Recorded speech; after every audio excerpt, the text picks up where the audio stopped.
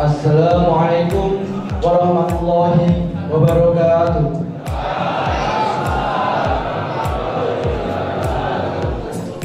Alhamdulillah, alhamdulillahirobbilalamin.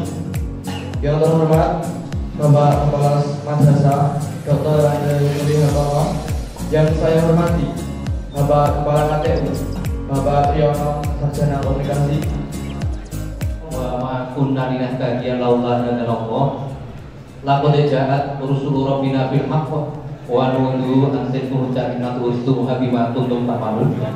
Asyhadu an la wa la syarika lah wa asyhadu anna muhammadan abduhu wa rasuluh sallallahu alaihi wasallam wa ala alihi wa sahbihi. Amma ba'du. Pertama kita panjatkan puji syukur kepada Allah yang senantiasa melimpahkan kehormatan kenikmatan taufik hidayah inayah kepada kita semua. Sehingga dengan segala nikmat tersebut yang tiada manusia yang mampu menghitungnya pada pagi hari ini kita bisa berkumpul bersama di Masjid Al-Falah yang begitu megah di Madrasah Aliyah Negeri Saputra semua sehat? ada yang tidak sehat? Semua waras? Ada yang tidak waras? Alhamdulillah semua sehat dan waras.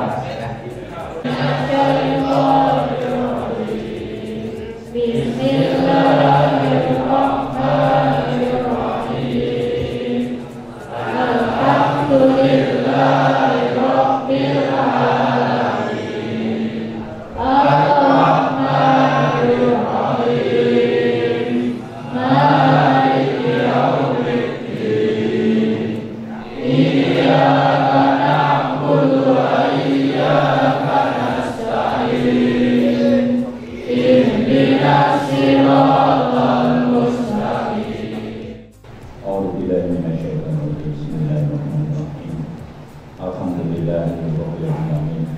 سيد الأولين والآخرين وصلى ورضي وتبارك وتعالى كل صحابة رسول الله أجمعين. اللهم صل وسلم على محمد صلاة نبينا بأهل الأقوال والآثار وتقبل لنا من الحاجة وتدافعنا من جميع الشيئات وترفعنا بأهل الأعلى الدرجة. وتبلغنا الصغير من جميع اللهم اغفر للمؤمنين والمؤمنات والمسلمين والمسلمات الأحياء منهم والأموات يا قرب يا قدر اللهم اغفر لنا ذنوبنا ولوالدينا وارحمنا كما ربنا صغارا Ya Allah, pagi ini kami keluarga besar Madrasah Aliyah Negeri Satu Karanganyar Alhamdulillahirrahmanirrahim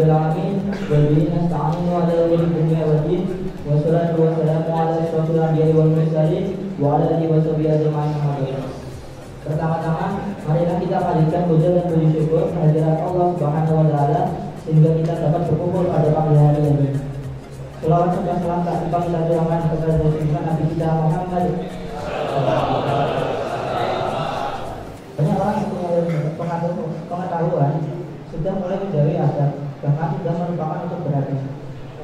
Perlu diingat bahwa seseorang juga harus memiliki adab. Adab adalah menyerahkan akhlak-akhlak yang mulia, ibaratnya ada itu seperti cabang utama pada saat mencari sebuah ilmu. Tanpa adanya adab, maka ilmu tersebut menjadi hal yang tidak dapat kita terapkan dengan baik. Assalamualaikum warahmatullahi wabarakatuh.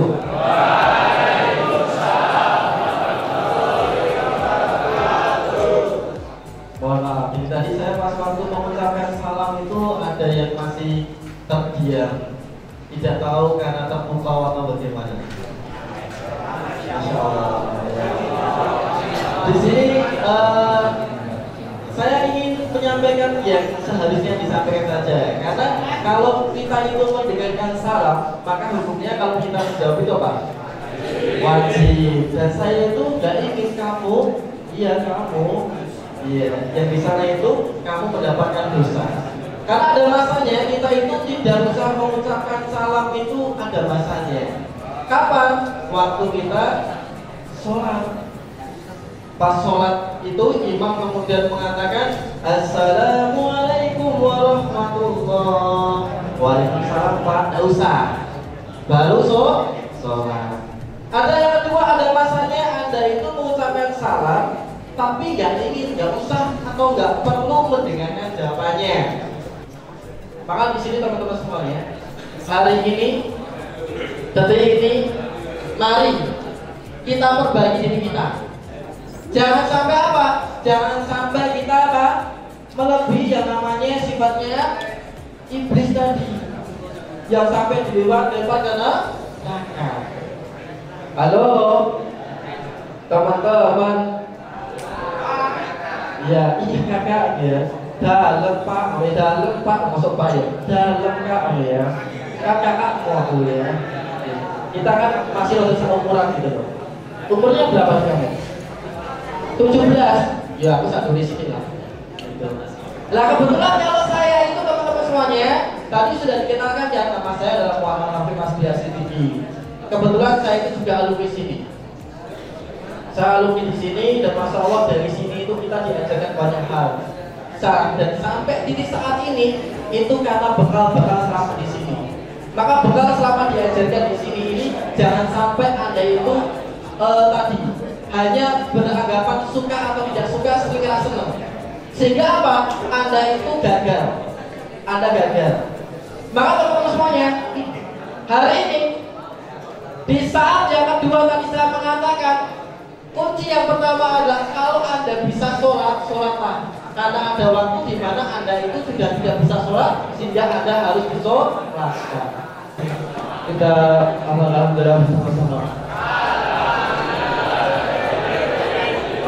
Saya Sulawesi ucapkan terima kasih. Assalamualaikum warahmatullahi wabarakatuh.